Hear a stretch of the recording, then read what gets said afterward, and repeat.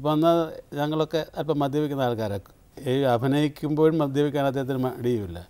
അപ്പോൾ അതിനകത്ത് ഒരു സീനുണ്ട് അതിനകത്ത് മൂന്ന് കുപ്പി കള്ള് കണ്ടിന്യൂസ് ആയിട്ട് കുടിച്ച് തീർക്കണം. മൂന്ന് കുപ്പി കള്ള് ശരിയായ കള്ള്. അപ്പോൾ അത് ഷോട്ട് കട്ട് ചെയ്യത്തില്ല. ഒരേ ഷോട്ട് കുടിക്കണം. മൂന്ന് കുപ്പിയാണ് മൊത്തം അവിടെ ഇരിക്കുന്നത്. പക്ഷേ എത്ര കുടിച്ച് അത് അത് അവിടെ ഇരിക്കുന്ന അത്രയും കള്ളുകളും ആശാന് ഏതാണ്ട് ഒന്നര രണ്ട് മിനിറ്റ് കൊണ്ട് കുടിച്ച് തീർക്കുകയാണ്. റീടേക്ക് വന്നു. അതെ അത്. റീടേക്ക് വന്നു. ഒന്ന് ആലോചിച്ച് വീണ്ടും കുടിക്കേണ്ടി വന്നു.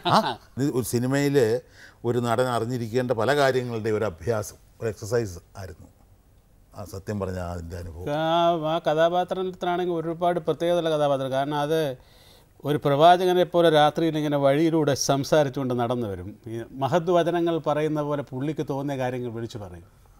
അപ്പോൾ അത് എന്താ പറയുന്ന ഒരു ഈ ഒരു ബിബ്ലിക്കൽ കൊണോട്ടേഷൻസ് ഉള്ള സാധനമാണ്. പക്ഷെ പുള്ളി പറയുന്ന മുഴുവൻ ഞാൻ ആ ഡയലോഗുകൾ മറന്നുപോയി. പുള്ളി പറയുന്ന മുഴുവൻ ഒരുതരം അബദ്ധങ്ങളാണ് പറയുന്നത്. പക്ഷേ ആ പറയുന്ന ആ സ്വരം അല്ലെങ്കിൽ ആ ട്യൂൺ എന്ന് പറയുന്നത് ദൈവവചനം കേൾക്കുന്ന പോലെയാണ്.